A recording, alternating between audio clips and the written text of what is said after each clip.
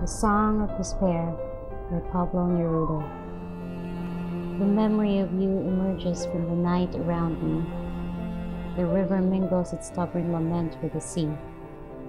Deserted like the wharves at dawn, it is the hour of departure, or deserted one.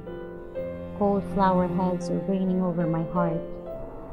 O pit of debris, fierce cave of the shipwrecked.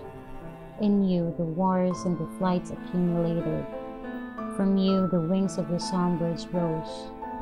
You swallowed everything like distance, like the sea, like time.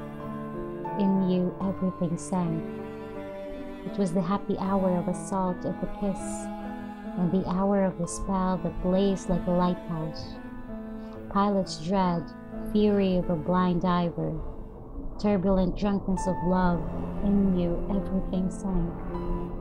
In the childhood of mist my soul winged and wounded, lost discoverer, in you everything sank. You girdled sorrow, you clung to desire, sadness stunned you, in you everything sank. I made a wall of shadow draw back, beyond desire and act I walked. O flesh, my own flesh, woman whom I loved and lost, I summon you in the moist hour, I raise my song to you. Like a jar you house the infinite tenderness, and the infinite oblivion shattered you like a jar. There was the black solitude of the islands, and there, woman of love, your arms took me in. There were thirst and hunger, and you were the fruit. There were grief and the ruins, and you were the miracle. Ah, woman, I do not know how you could contain me in the earth of your soul and the cross of your arms. How terrible and grief was my desire of you.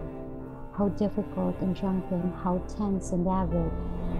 Cemetery of kisses, there is still fire in your tombs. Still the fruited boughs burn, pecked at by birds. Oh, the bitten mouth, oh, the kissed lips, oh, the hungering teeth, oh, the entwined bodies. Oh, the mad coupling of hope and force in which we merge in despair. And the tenderness, light as water and as flower, and the words scarcely begun on the lips. This was my destiny, and in it was the voyage of my longing. And in it my longing fell. In you everything sank. O pit of debris, everything fell into you. What sorrow did you not express? In what sorrow are you not drowned? From billow to billow you so called and sang, standing like a sailor in the prow of a vessel. You still flowered in songs, you still broke in currents, O pit of the debris, open and bitter well. Pale blind diver, luckless linger, lost discoverer, in you everything sank.